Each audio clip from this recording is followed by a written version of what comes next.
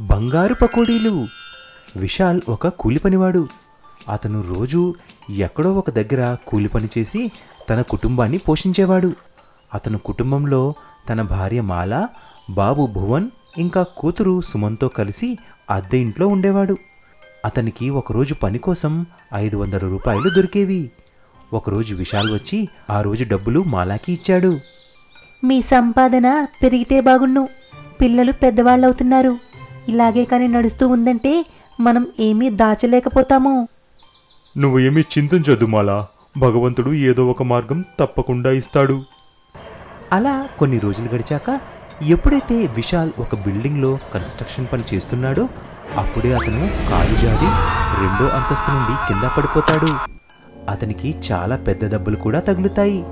ఎప్పుడైతే అతనిని హాస్పిటల్కి తీసుకువెళ్తారో డాక్టర్ గారు ఇలా చెప్పారు. మాలా గారు పైనుంచి పడడం వల్ల విశాల్కి ఒక మోకాలు విరిగిపోయింది.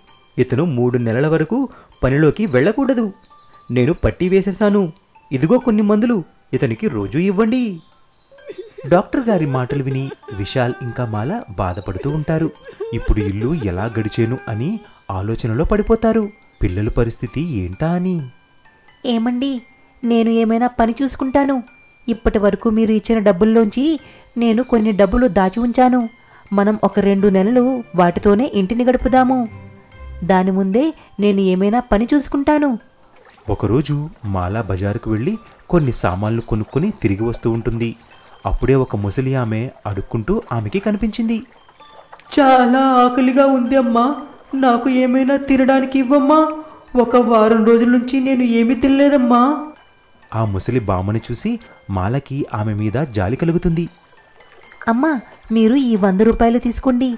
మీరు హాయిగా కడుపు నిండా తినండి. నా దగ్గర ఇప్పుడు ఇంతే ఉన్నాయి. నువ్వు నిండు నూరేళ్ళు బతుకమ్మా. నువ్వు నా కోసం నీ దగ్గర మిగిలి ఉన్న నీ డబ్బులు అన్నీ నాకు ఇచ్చేశావు. భగవంతుడు ఎప్పుడూ కూడా నీకు దేనికి లోటు లేకుండా చూస్తాడు. అలా మాల ఆ ముసలి ఆమెకి వంద రూపాయలు ఇచ్చి వెళ్ళిపోతుంది. ఇంటికి వచ్చి మొత్తం విషయమంతా విశాల్కి చెప్తుంది. ఒక ముసలి మామకి భోజనం తినిపించి మంచి పని చేశావు మాలా. డబ్బులు మనం ఏదో ఒకలా సర్దుకుందాంలే. కొన్ని రోజుల తర్వాత ఎప్పుడైతే మాల మళ్ళీ మార్కెట్కి వచ్చిందో అదే ముసలి బామ్మ అడుక్కుంటూ ఉంటుంది. అప్పుడు మాల ఆమె దగ్గరికి వెళ్ళి ఇలా అంది. బామ్మగారు ఈరోజు నా దగ్గర ఈ పది రూపాయలే ఉన్నాయి. దీనితో మీకు నేను భోజనమైతే తినిపించలేను. ఉండండి నేను మీకు పకోడీలు కొని ఇస్తాను. అలా మాల పక్కనే ఉన్న పకోడీల దుకాణానికి వచ్చి పది రూపాయల పకోడీలు కొని ఆ బామ్మకి ఇస్తుంది. ఆ ముసలి బామ్మ పకోడీలు చేతిలోకి తీసుకొని మళ్ళీ ఆ ప్యాకెట్ని మాల చేతుల్లో పెట్టేస్తుంది. అమ్మా ఈరోజు ఈ పకోడీలు నువ్వే తినాలి. వెళ్ళు హాయిగా ఉండు.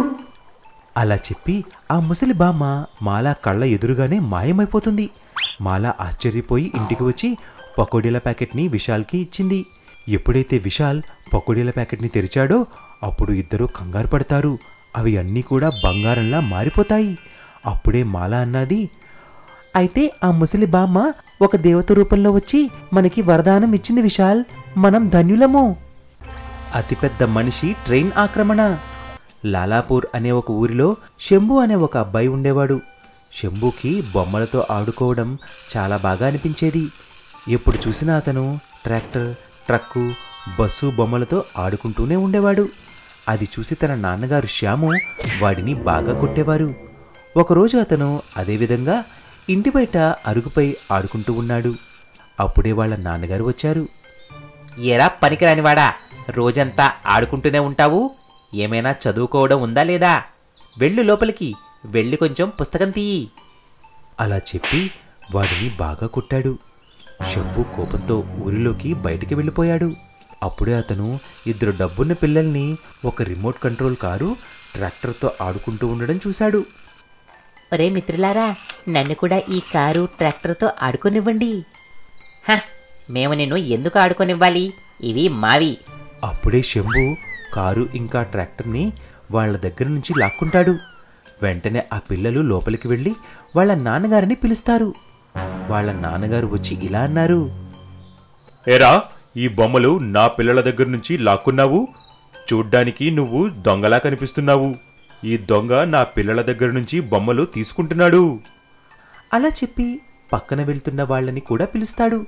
అప్పుడే అందరూ పరిగెట్టుకుంటూ వచ్చి అందరూ కలిసి శంభుని బాగా కొట్టారు. చాలా బాధతో శంభు అడవి వైపుగా వెళ్ళాడు. కొంత దూరం వెళ్ళగానే అతను ఒక చెట్టు కింద ఒక రాయి మీద కూర్చుంటాడు. అప్పుడే మాయ వల్ల ఆ రాయి ఒక స్వామీజీలా మారిపోతుంది. బాబు నేను ఒక మాయా రాయి రూపంలో ఇక్కడ ఉన్నాను. నేను ఒక శాపం వల్ల ఇలా రాయిలాగా మారిపోయాను. కానీ నీ స్పర్శ వల్ల నాకు మళ్ళీ నా రూపాన్ని ఇచ్చేసింది. చెప్పు నీకు ఏమి కావాలో? స్వామీజీ నాకు బొమ్మలతో ఆడుకోవడం అంటే చాలా ఇష్టం. కానీ అందరూ నన్ను కొడుతూ ఉంటారు. నాకు ఎవ్వరూ భయపడరు. అందరూ కూడా నా మాట అస్సలు వినకుండా నన్ను కొడుతూ ఉంటారు. నాది ఒకే ఒక కోరిక. నన్ను ఎలా మార్చేయాలంటే అందరూ నన్ను చూసి భయపడాలి. ఒక పెద్ద మనిషిలా మార్చేయాలి. బాబు నేను చేసేయగలను కానీ అలా చేయడం వల్ల నీకు చాలా నష్టం కలుగుతుంది. నీకు తర్వాత భవిష్యత్తులో ఏమైనా ఇబ్బంది కలిగితే నువ్వు ఇక్కడికే వచ్చి నన్ను స్మరించుకో. అప్పుడు మళ్ళీ నువ్వు ఒక కుర్రాళ్ళ మారిపోతావు. అలా స్వామీజీ ఒక మంత్రం చదువుతాడు.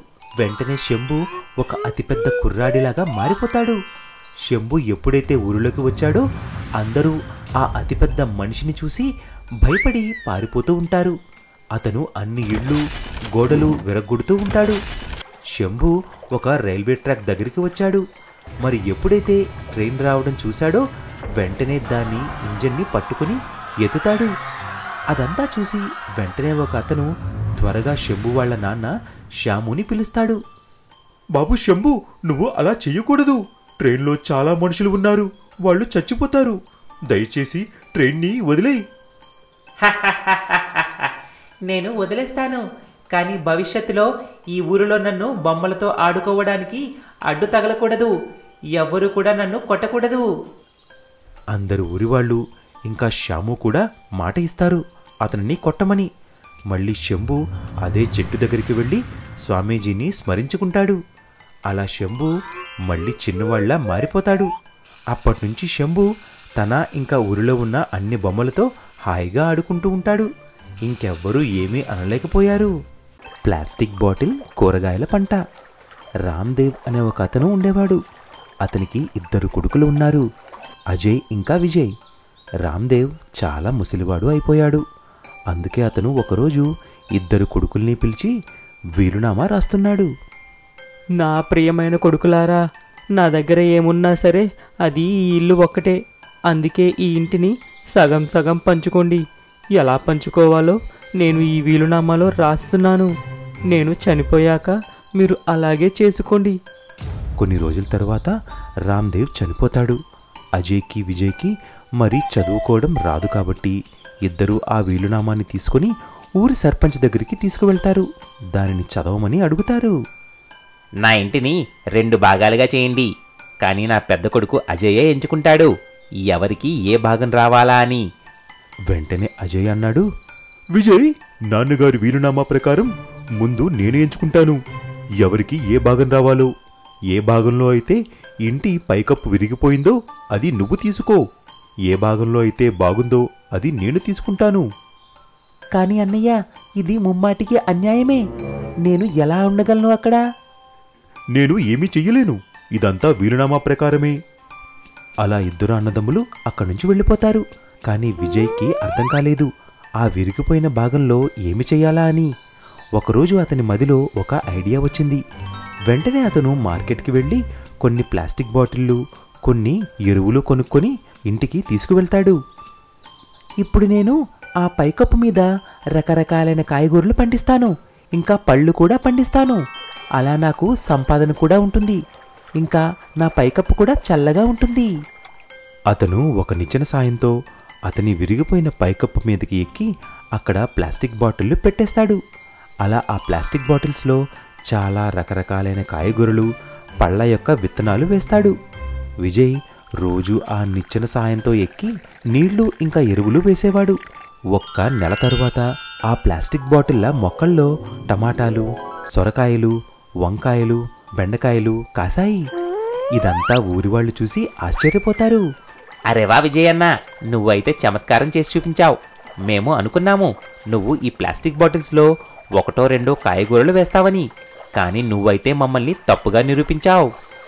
అలా విజయ్ ఆ కాయగూరల్ని అమ్మి డబ్బులు సంపాదించేవాడు. ఒకరోజు అజయ్ వాళ్ళ భార్య పరిగెట్టుకుంటూ విజయ్ దగ్గరికి వచ్చింది. విజయ్ మీ అన్నయ్యకి బాగోలేదు. గుండెపోటు వచ్చింది. వెంటనే ఏదో ఒకటి చెయ్యాలి. వెంటనే విజయ్ తన దగ్గర ఉన్న డబ్బులన్నింటితో అవి అన్నీ ఇచ్చి అజయ్ని హాస్పిటల్కి తీసుకువెళ్తాడు. సరైన సమయంలో తీసుకురావడం వల్ల అజయ్ బతుకుతాడు. మరుసటి రోజు అజయ్ అన్నాడు తమ్ముడు విజయ్ నన్ను క్షమించు. నేను ఇంకా సర్పంచ్ కలిసి వీరునామా విషయంలో నిన్ను మోసం చేశాము. మమ్మల్ని క్షమించు. పద మనం అందరం కలిసే ఉందాము. ఆ రోజు నుంచి ఇద్దరు అన్నదమ్ములు కలిసిమెలిసి ప్లాస్టిక్ బాటిల్స్లో కూరగాయలు పండించి ఆనందంగా ఉండేవారు. వెదురు చెక్కలతో అడవిలో ఇల్లు.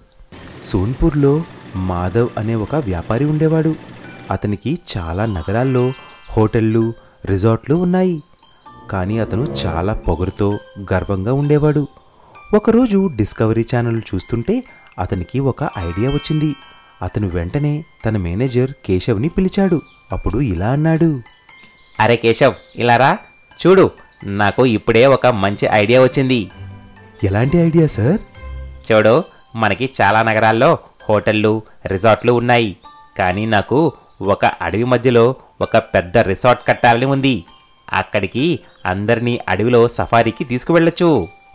అబ్బా సూపర్ సార్. మీ ఐడియా అయితే చాలా బాగుంది. కానీ దాని మీద ఇంకా మనం కొంచెం రీసెర్చ్ చేస్తే బాగుంటుంది. ఎందుకంటే అడవి జంతువుల గురించి మనకి కొంచెం తెలుస్తుంది కదా. ఇంకా అక్కడ సురక్షితమైన ఇల్లు కట్టడం గురించి కూడా. అయితే సరే సార్ మేము రేపటి నుంచి రీసెర్చ్ మొదలు పెడతాము. మీరు చెప్పండి అసలు ఏమి చెయ్యాలో? అరే చేసేదేముంది? ఎవడో ఒకటి పట్టుకుని వాణ్ణి అడవిలో ఒంటరిగా వదిలేయండి. మనకి తెలుస్తుంది కదా వాడు అసలు అడవిలో ఎలా కాపాడుకుంటాడో అని. సరే సార్ నేను రేపే ఎవరో ఒకరిని చూస్తాను. కేశవ్ ఎప్పుడైతే ఆఫీస్ నుంచి ఇంటికి వెళ్ళడానికి బయలుదేరతాడో అప్పుడే అతనికి ఒకడు వీధిలో అడుక్కుంటూ ఉండగా కనిపించాడు. అతనిని చూసి కేశవ్ మదిలో ఒక ఐడియా వచ్చింది. అరే ఇలా చూడు నీ పేరేంటి? అయ్యా నా పేరు రాము అండి. అయ్యా చాలా ఆకలిగా ఉందండి. చాలా రోజుల నుంచి ఏమీ తినలేదు. నీళ్ళు కూడా తాగలేదు. హాహా సరే సరే కంగారు పడుకు. రా నాతో రా నువ్వు. కేశవ్ అతన్ని తీసుకుని ఒక హోటల్కి వెళ్ళాడు. అడుక్కునేవాడికి చాలా బాగా భోజనం తినిపించాడు. అప్పుడు కేశవ్ అతనితో ఇంక నువ్వు అడుక్కోవాల్సిన అవసరం ఉండదని చెప్పాడు. అతనికి ఒక ఉద్యోగం ఇస్తున్నానని చెప్పాడు. కేశవ్ అతనిని తీసుకుని దట్టమైన అడవుల్లోకి వచ్చేశాడు. అరే అయ్యా ఇక్కడ ఇక్కడ ఏమి పని చెయ్యాలి? అరే ఏమీ లేదు. ఈ స్థలాన్ని మా సేట్ గారు కొన్నారు. ఇక్కడ కొంచెం శుభ్రపరిచే పని చెయ్యాలి. ఇంకా నేను నిన్ను తీసుకువెళ్ళడానికి సాయంత్రం వస్తూ ఉంటాను. అలా కేశవ్. చాలా తెలివిగా రాముని ఆ అడవిలో వదిలేసి వెళ్ళిపోతాడు. రాము అక్కడ కూర్చుని ఎదురు చూస్తూ ఉంటాడు. రాత్రి అవుతూనే రకరకాలైన అడవి జంతువుల యొక్క అరుపులు వినిపిస్తూ ఉంటాయి. రాము జంతువుల అరుపులు విని భయపడతాడు. అరే అరే నేను ఎక్కడ ఇరుక్కున్నానరా బాబు? ఓ భగవంతుడా ఇప్పుడు నేను ఏం చేయను? నేను ఆ పెద్ద చెట్టు ఎక్కి కూర్చుంటా. అక్కడికి జంతువులు రాలేవు కదా. రాము పక్కనే ఉన్న ఒక చెట్టు మీదకి ఎక్కి కూర్చుంటాడు. రాత్రి అవ్వగానే అక్కడ చాలా అడవి జంతువులు తిరుగుతూ ఉంటాయి. సింహం నక్క లాంటివి. కానీ రాము చెట్టు ఎక్కి కూర్చుంటాడు కాబట్టి అతని ప్రాణాలు దక్కించుకుంటాడు. మరుసటి రోజు ఉదయం రాము అడవి చుట్టుపక్కల చూస్తాడు.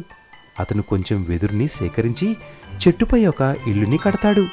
అతను పక్కనే ఉన్న నది నుంచి నీళ్ళు తెచ్చుకుని అడవిలో పండే పళ్ళు ఫలాలు తిని తన ప్రాణాలు కాపాడుకుంటూ ఉంటాడు. అలాగే చాలా రోజులు గడుస్తాయి. ఒకరోజు ఒక వేటగాడు వేటకి ఆ అడవిలోకి వస్తాడు. అతను ఆ చెట్టుపై ఉన్న వెదురు చెక్క ఇల్లుని చూసి కంగారు పడతాడు.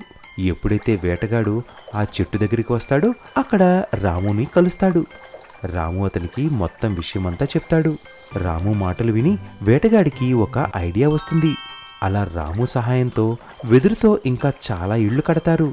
అప్పుడు అందర్నీ అడవిలో సఫారీకి తిప్పడానికి తీసుకువస్తాడు. అలా వేటగాడు ఇంకా రాముల వ్యాపారం బాగా నడుస్తుంది.